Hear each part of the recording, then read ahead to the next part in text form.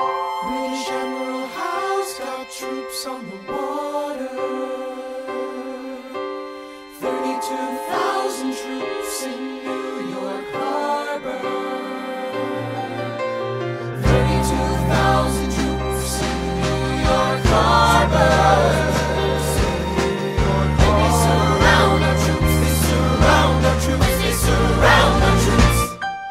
As a kid Caribbean, I wished for a war. I knew that I was poor, I knew it was the only way to rise up. If they tell my story, I am either gonna die on the battlefield in glory or rise up. I will fight for this land, but there's only one man who can give us a command so we can rise up. Understand, it's the only way to rise. Here he comes. Here comes the general. Ladies and gentlemen, Here comes the general. the moment you've been waiting for. Here comes the general.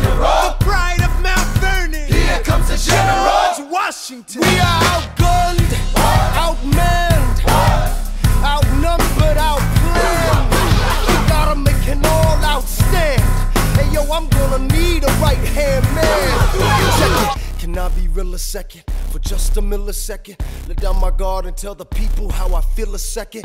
Now I'm the model of a modern major general, the venerated Virginian veteran whose men are all lining up to put me up on a pedestal, writing letters to relatives, embellishing my elegance and eloquence. But the elephant is in the room, the truth is in your face when you hear the British cannons go.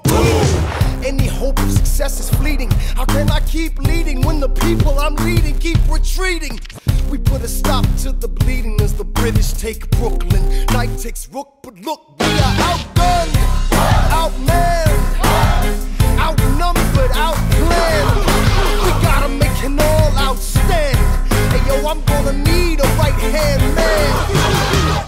Incoming! They're battering down the battery, check the damages. We gotta stop them and rob them of their advantages. Let's take a stand with the their cannon. Boom goes the cannon, watch the blood in this shit spray. And goes the cannon, we're abandoning Kips Bay. And there's another shipping. We just lost a southern tipping. We gotta run to Harlem quick, we can't afford another slip. Guns and horses giddy up. I decide to divvy up my forces. This skittish as the British cut the city up. This close to giving up, facing mass scrutiny. I scream in the face of this mass mutiny. Are these the men with which I am to defend America? We ride at midnight, In the distance. I cannot be everywhere at once, people. I'm in dire need of assistance. Your Excellency, sir.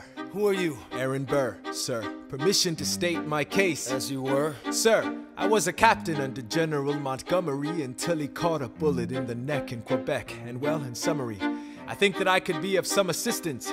I admire how you keep firing on the British from a distance. I have some questions, a couple of suggestions on how to fight instead of fleeing west. Yes. Well, Your Excellency, you wanted to see me. Hamilton, come in. Have you met Burr? Yes, sir, we, keep meeting. as I was saying, sir, I look forward to seeing your strategy play out. Burr. Sir, Close the door on your way out. Have I done something wrong, sir? On the contrary, I called you here because our odds are beyond scary. Your reputation precedes you, but I have to laugh. Sir? Hamilton, how come no one can get you on their staff? Sir! Don't get me wrong, you're a young man of great renown.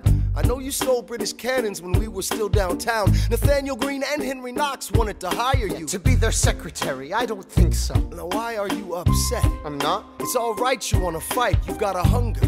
I was just like you when I was younger. Head full of fantasies of dying like a martyr. Yes. Dying is easy, young man. Living is harder. Why are you telling me this? I'm being honest. I'm working with a third of what our Congress has promised. We are a powder keg about to explode. I need someone like you to lighten the load. So,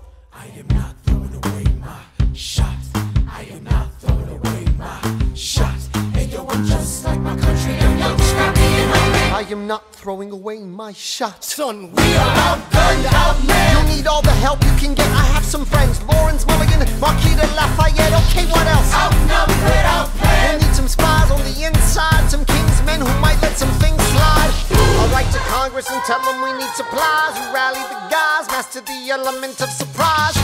I'll rise above my station, organize your information till we rise to the occasion of our new nation. Sir, Here comes the